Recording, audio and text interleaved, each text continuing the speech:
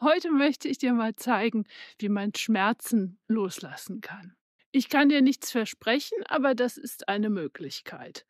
Ich mache das eben oft, wenn zum Beispiel ein Triggerpunkt nicht so schnell oder überhaupt nicht nachgibt. Ja, ist bei meinen Patienten immer, wenn ich an Verspannung gehe, vor allem hier, aber auch an anderen Bereichen des Körpers, dann möchte ich, dass wir, wenn wir mit 100% Anspannung beginnen, nicht aufhören, bevor wir nicht auf 30 Prozent runter sind. Ich werde zunächst ein physisches, ganz praktisches Beispiel und anschließend ein emotionales, äh, gedankliches Beispiel dafür geben, wie man mentalen Stress loslassen kann, nach demselben Prinzip.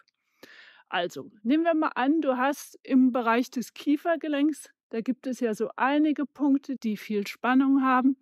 Da kannst du einfach mal gucken, ob du so einen findest. Hier, ja, ganz richtig, dich reingraben. Und das ist schön unangenehm. Ein Fall fürs Loslassen. Du nimmst jetzt einen der Punkte, der nicht so ohne weiteres weggeht.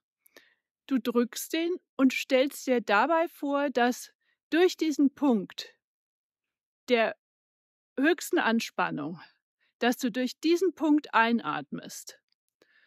Und wenn du ganz tief in deinen Bauch durch diesen Punkt eingeatmet hast, also du atmest von da aus ein bis in deinen Bauch und dann lässt du durch den Ausatmen, durch den Mund alles los. Alles los, ja? Machen wir mal gemeinsam. Ich habe hier einen gemeinen Punkt und einatmen durch diesen Punkt der höchsten Anspannung.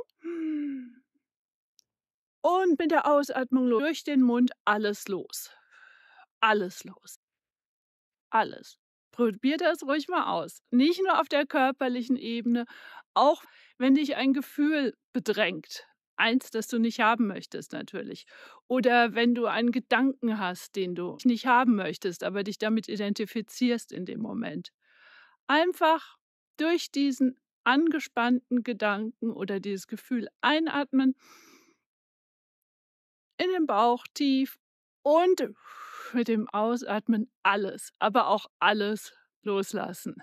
Dann kommst du aus dem Gefängnis der Anspannung raus. Denn um aus einem Gefängnis zu entkommen, musst du erst mal wissen, dass du drin bist. Nur dann kannst du frei werden.